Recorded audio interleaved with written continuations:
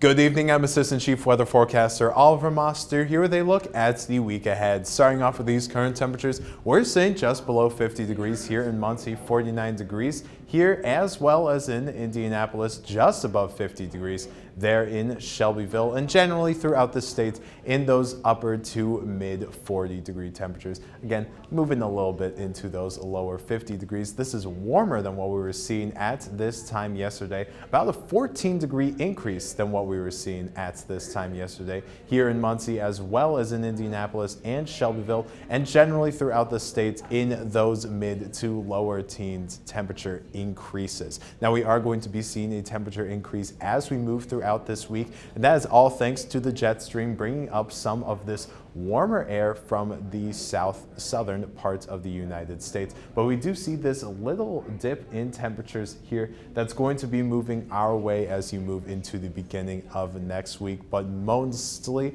we are going to be seeing those warmer temperatures throughout this week. And we definitely saw that with the almanac for today, just below average with our recorded high in Muncie being 50 degrees. Normally we see temperatures around 53 degrees. Definitely not seeing that high though, high set in record high set in 2012 at 83 degrees. Might be seeing some temperatures though in the 60s as you move throughout this week. But looking at the current radar, nothing too much in our area besides a couple of passing clouds and those cloud coverage is going to continue as you move throughout tonight.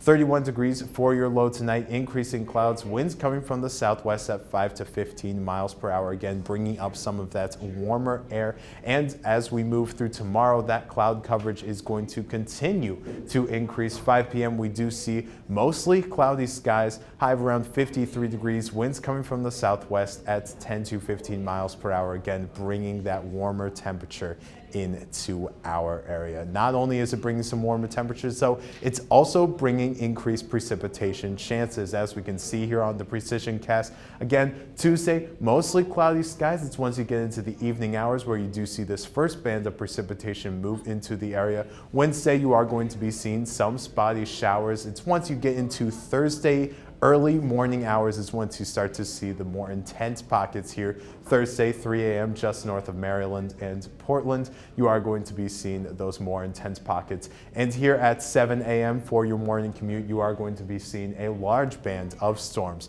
move into the area. Spy showers remain for your Thursday, but looking at the seven day forecast again, 80% chance of precipitation, high of around 65 degrees for your Thursday temperatures and precipitation chances do decrease as you move into the weekend, but uptick back there on Sunday. This has been your Newslink Indiana web weather update. You can follow us on Facebook and Twitter for more weather updates. I'm weather forecaster Oliver Moster wishing you a great night and an even better week.